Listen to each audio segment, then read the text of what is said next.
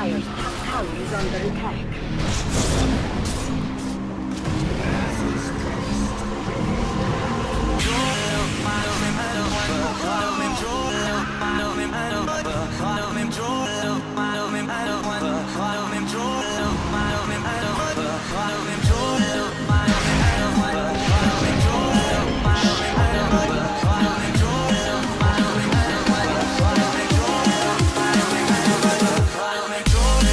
smile.